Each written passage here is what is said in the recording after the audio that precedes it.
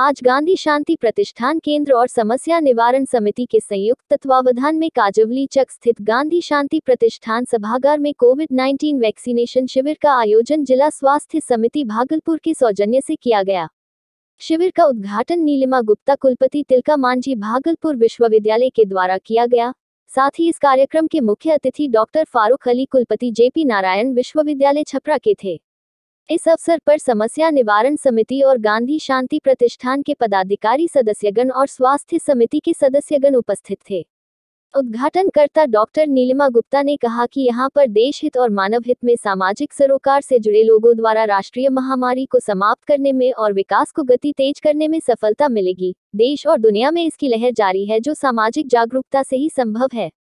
हम इसका खुद सिपाही बने खुद टीका लें और दूसरों को भी टीका के लिए प्रेरित करें।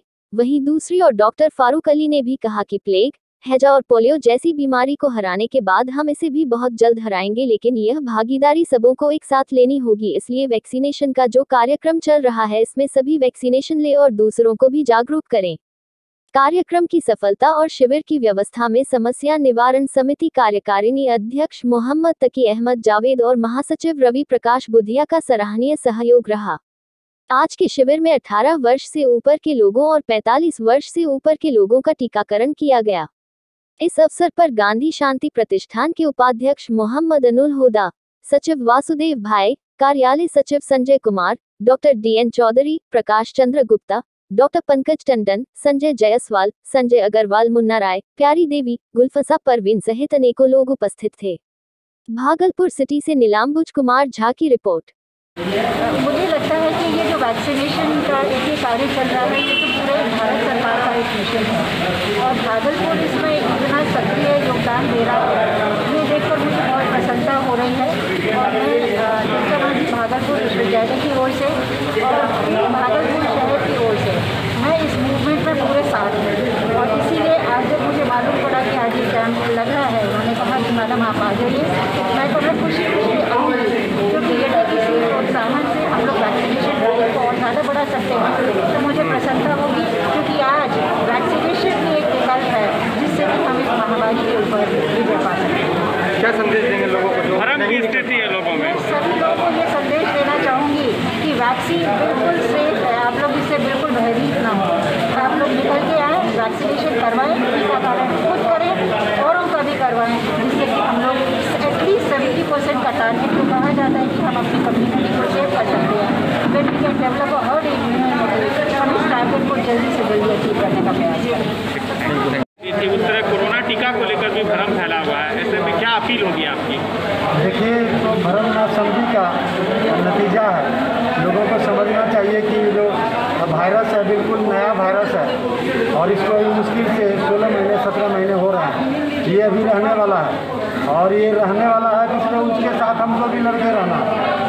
मैं बताना चाह रहा हूँ कि जब तक 70 से 80 प्रतिशत लोगों को वैक्सीन नहीं लगेगा, तब तक सामूहिक रोग निरोधक क्षमता, जिसको हर्ड इम्यूनिटी कहते हैं H E R D I N double M U N I T Y herd immunity तब तक नहीं होगा, जब तक 70 से 80 प्रतिशत लोगों को टीका नहीं लगेगा। इसलिए एकमात्र इसका उपाय है कि सभी टीका लें और जब तक सबको टीका लग जाएगा तो ये वायरस अपने आप कमज़ोर हो जाएगा और फिर उसकी क्षमता नहीं रहेगी, कि इसमें बदलाव ला सके और वो दूसरे और मरीजों में ज़्यादा जोखिम वाले बीमारी उत्पन्न करे मैं बताना चाह रहा हूँ कि ब्रिटेन अमेरिका जैसे कई देशों में रूस यहाँ तक कि उन लोगों ने लगभग 70 से 80 प्रतिशत वैक्सीनेशन कर लिया है।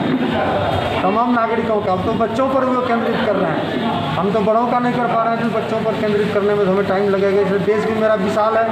135 करोड़ लोग हैं अमेरिका से चार गुने बड़े हैं हम। तो इतना आसान भी नहीं है हमको चार गुने ज़्यादा कोशिश करनी पड़ेगी। लेकिन ये मुझे बताना ज़रूरी है कि वहाँ फ़र्स्ट डोज सेकेंड डोज पूरा किए हुए लोग। बूस्टर डोज ले रहे हैं जैसा कि हम लोग पोलियो में बूस्टर डोज देते थे और सब चीज़ों में बूस्टर डोज देते हैं तो वहाँ वो लोग बूस्टर डोज ले रहे हैं कि इनकी क्षमता। और बनी रहे, अगर वायरस में कोई परिवर्तन होता भी है तो वो परिवर्तन वो ज़्यादा नुकसानदायक ना हो हल्का फुल्का हो।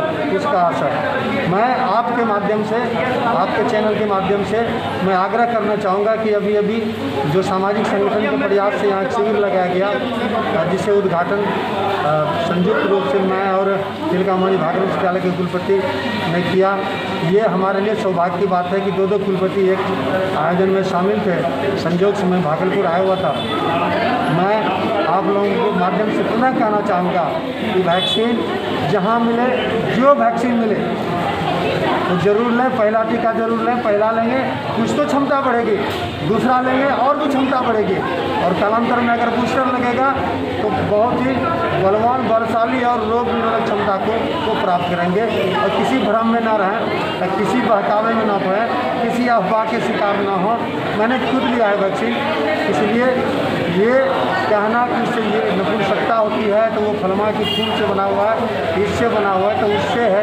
ये तमाम चीज़ें भ्रामक हैं और इन तमाम चीज़ों से बचने की ज़रूरत है। समाज में उस समय भी लोग थे इस तरह के, आज भी हैं, आगे भी रहेंगे, जो न खुद करेंगे, न औरों को करने देंगे। इसलिए भलाई उसी में है कि जिस तरह से हमारा पूरा देश बह रहा है, जिस रवानी में, उसी रवानी हम बहें। तभी हम लहर दर लहर, चाहे तीसरी आएगी, चौथी आएगी, कोई भी लहर आए, हम सब लहरों से टकरा करके हमारी नौका पार करेगी। कहते हैं ना लहरों से टकरा के नौका पार करती है। आए लहर, हम तैयार हैं।